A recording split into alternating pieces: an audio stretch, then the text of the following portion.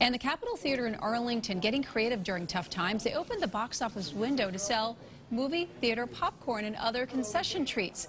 The theater says the community has been asking how they can support businesses and wanted to sweeten everyone's pies.